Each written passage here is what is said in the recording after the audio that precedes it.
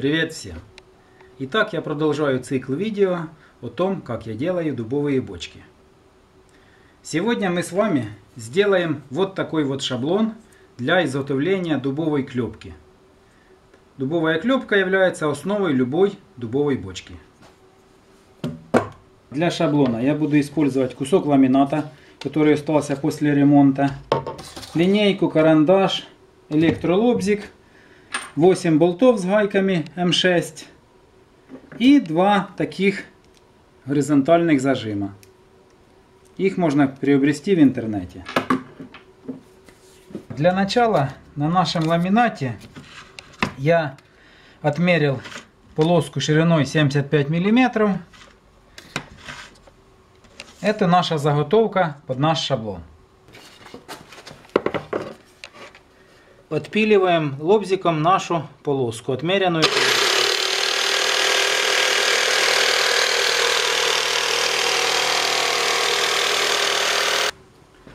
Как вы уже знаете из предыдущих видео, я пользуюсь ГОСТами для определения размеров, геометрических размеров своих бочек. И поэтому знаю, что для бочки объемом 5 литров клепка должна быть высотой 250 миллиметров. На нашей заготовке мы отмеряем нашу высоту нашей клепки. Вот. Между ней 25 сантиметров. Теперь эту высоту мы делим пополам по длине. 25 на 2 это 12,5 сантиметров. И по ширине. У нас 7,5 сантиметров ширина нашей заготовки. Значит 3,7 это будет половина. И проводим линии. Я уже их провел. Зная внутренний диаметр нашей бочки, в самом широком ее месте, он равен 185 мм, мы можем найти длину окружности внутреннего объема. Для этого нужно 185 умножаем на наше число π 3,14 и мы получаем 580 миллиметров. Зная, что у нас клепок 20 штук, мы 580 делим на 20 и в результате получаем 29 миллиметров. Округляем, берем 30 миллиметров. Поэтому в середине нашей заготовки мы отмеряем с одной стороны 15 миллиметров и с другой стороны 15 миллиметров. У нас получается 30 миллиметров. Это ширина нашей клепки в самом широком месте. Дальше, зная диаметр возле донцев, он равен 170 мм. Аналогично умножаем на 3,14, получаем число 540, делим на 20 и в результате ширина клепки возле уторов у нас будет равна 27 мм. Берем на миллиметр меньше, меньше, округляем 26. Значит 26 делим на 2 Получается 13 миллиметров в одну сторону и 13 миллиметров в другую сторону. И аналогично намечаем вторую часть днища.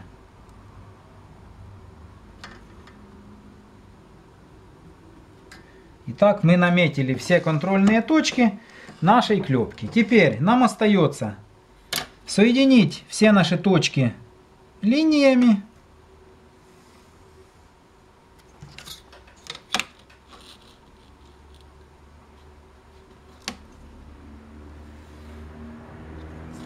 И у нас получается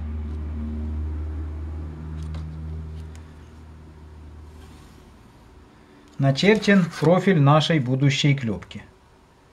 Наша клепочка будет иметь вот такой вот вид. Дальше. Берем вот этот зажим. Если он будет в разложенном состоянии, для того, чтобы он прижимал клепку, я думаю, достаточно будет разместить его вот в этом месте. Значит, ширина в этом месте, значит, мы отступаем, ну, 40 миллиметров. Значит, 40 миллиметров мы отступаем от нашего края. Можно чуть больше, ну, не, не менее 40. И аналогично здесь. Все, это у нас место под будущий зажим. Делаем аналогично с другой стороны.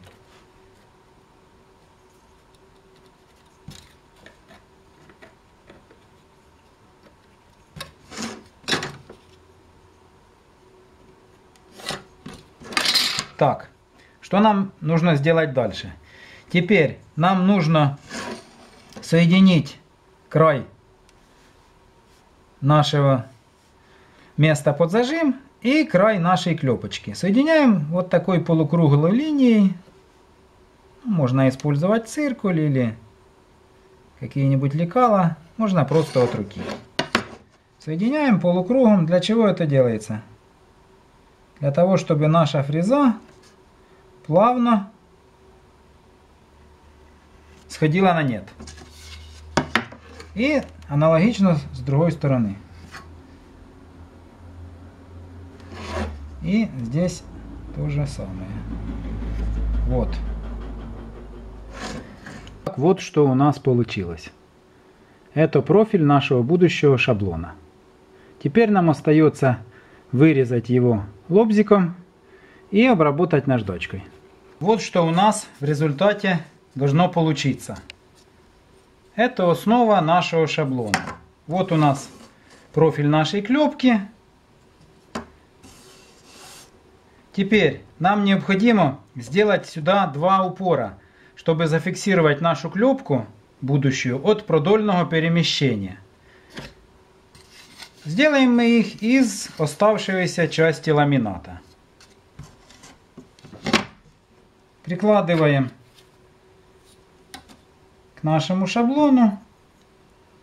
Проводим одну линию, которая равна длине нашей ручки. И вторую линию, которая равна длине нашей второй ручки. Вот. Так, наметили. Теперь Зная, что здесь у нас ширина 26 миллиметров, мы делим нашу, наши две заготовки пополам.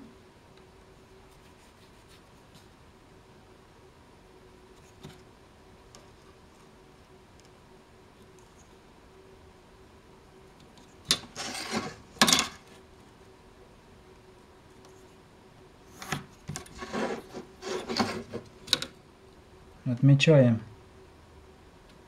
по 13 миллиметров.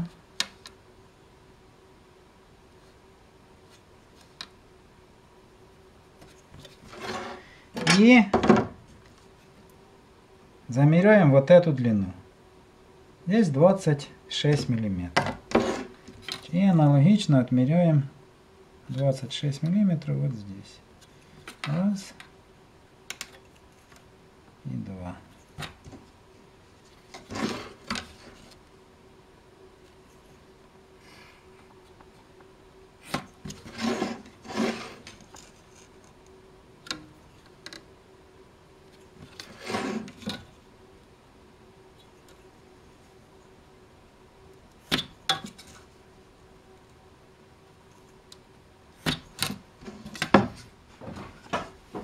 Вот такой вот шаблончик у нас должен получиться.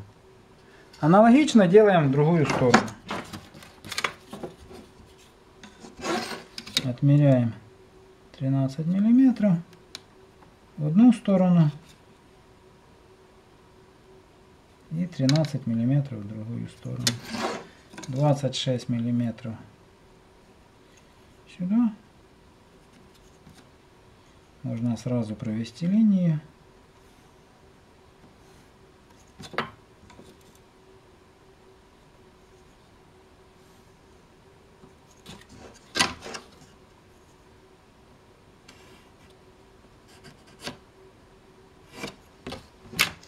Все, наши две заготовочки. Аналогично выпиливаем вот эти части.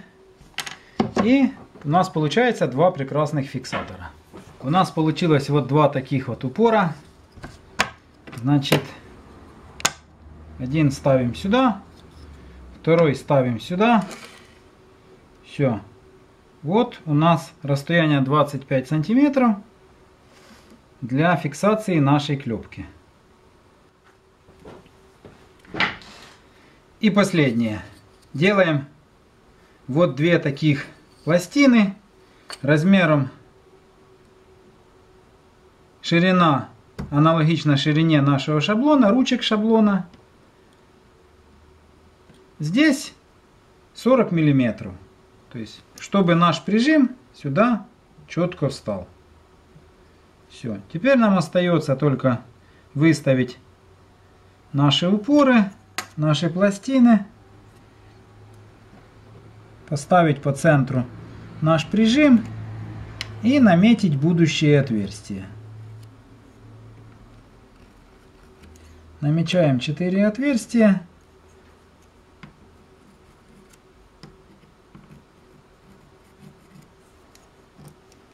Просверливаем и будем собирать. Я просверлил отверстия во всех наших элементах нашего шаблона. С гладкой стороны ламината я делаю потай, потому что у нас болты под шестигранную головку. И начинаем собирать наш шаблон. То есть наша основа, потом упор и вверху наш третий элемент. Ставим наш зажим.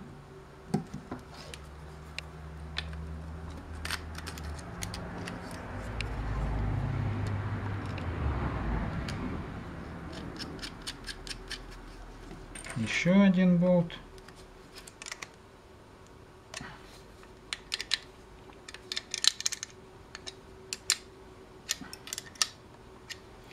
Итак, одну сторону мы собрали. Зажим работает. Болты у нас спрятались в потай. Они не будут нам мешать. И скользящая сторона ламината будет отлично работать по нашему столу. Аналогично собираем ответную сторону. Вот что у нас получилось.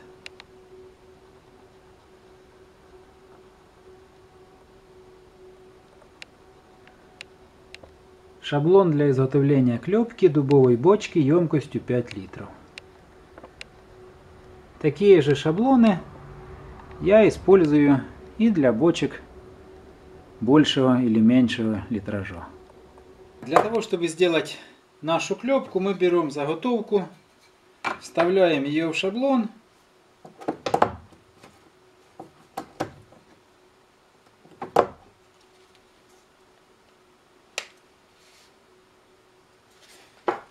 и работаем на фрезере.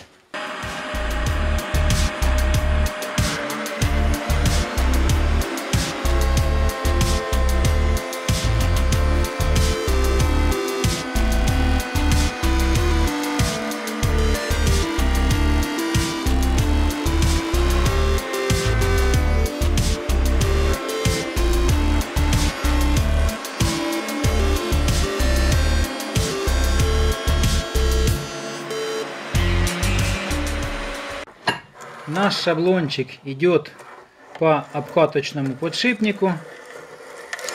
Вот поэтому. А наша фреза делает наш профиль боковой грани нашей клепки. Одновременно мы получаем обрезанный конус с двух сторон. Плюс